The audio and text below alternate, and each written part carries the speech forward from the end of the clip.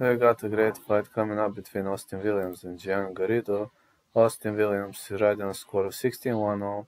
Ammo is very powerful, 6 foot tall, 78 inches of reach. He suffered a loss to Hamzah Sheeraz, which was his first ever professional loss. Priorly, he destroyed Armel Mabumba and destroyed Steve Rolls, River Wilson Bent, but it seems Hamzah was looking way better than him in that fight. He showed that uh, Williams is crackable, and Gian Garrido riding a score of 11-1-0, fighting out of Flushing, Queens, New York. He lost to Gleb Bakshi and Edward Diaz, defeated Michael Ruiz, Pablo Jesus Rojas, Julian Rodriguez, and many other high-level opponents.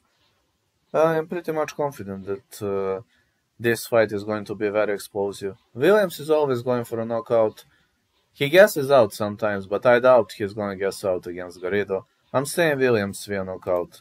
I strongly believe Williams could knock this guy out.